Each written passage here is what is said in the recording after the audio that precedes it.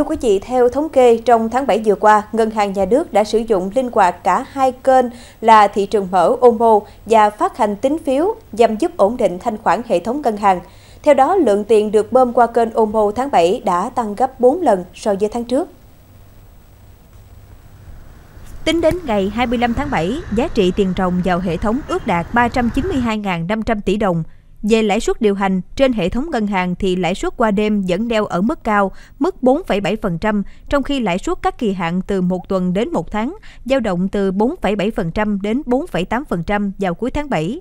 Thị trường trái phiếu doanh nghiệp ấm dần trở lại với nhiều đợt phát hành thành công từ đầu năm 2024.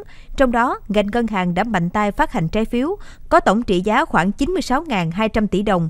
Bên cạnh việc phát hành mới sôi động trở lại, tỷ lệ chậm trả tiếp tục tăng nhanh khi nhiều doanh nghiệp đối mặt với gánh nặng đáo hạn lớn.